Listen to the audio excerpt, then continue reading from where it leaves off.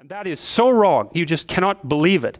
So, one of the things we found, which was really mind boggling to me, was that you could make a case that the probability that a company will use a test that predicts performance, the, pro the probability that they will use the test is inversely related to the accuracy of the test, which basically means that the less accurate tests are easier to sell.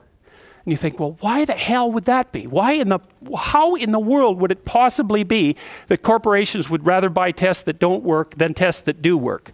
And that, that is what they do, because really what they do buy is the Myers-Briggs, right? That sells about a, a million units a year. And the Myers-Briggs has zero predictive utility with regards to performance prediction. So why do people use it? Oh, here's one reason. It doesn't hurt anybody's feelings. Everybody wins, right? And so then you think, well, do corporations really care whether or not everybody wins when they're being tested? And the answer to that is yes, much more often than you would think. So, so we hit all sorts of barriers. That was one.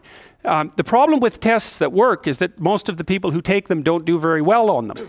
And then the other problem is, is that people, people aren't good at statistical reasoning at all. They're really, really bad at it. And so, for example, they don't know the difference between a percentage and a percentile. Myers-Briggs personality test. Yes, it's old.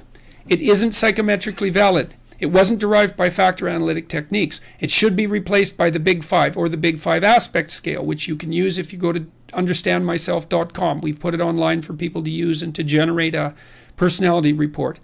Um, Myers and Briggs attempted to make a questionnaire predicated on Jungian presuppositions, and perhaps they did a fine job for the 1930s. But that was a long time ago, and there weren't any powerful computational devices of the kind that were necessary to sort out the structure of personality properly, which we've managed to do since about 1960 onward.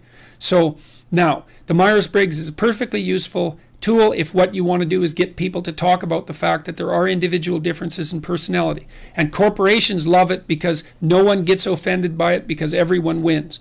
But if you want a personality test that actually tells you who you are, that's valid and reliable, then you use the big five. And, and that's that.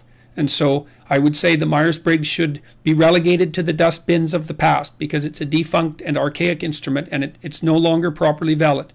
And so um, that's that.